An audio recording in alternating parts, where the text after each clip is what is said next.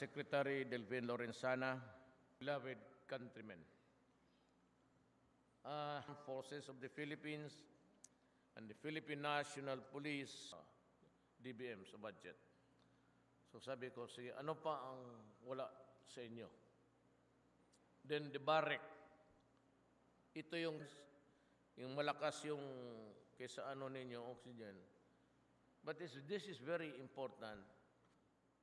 And I gave you a new building because the old is there. And there's another building.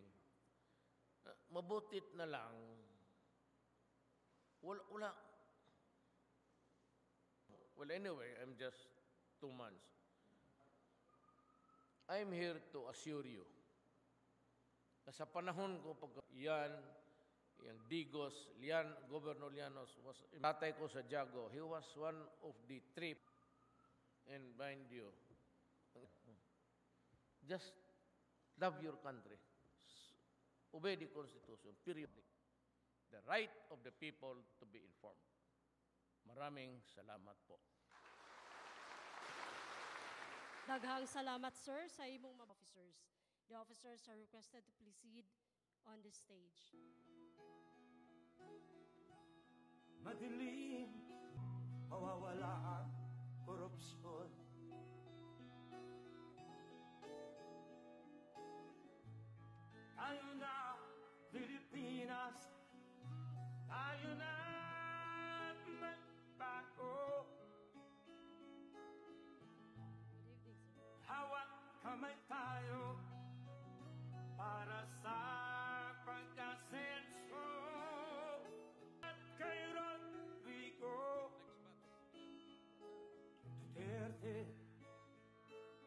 sa tunay na pagbabago.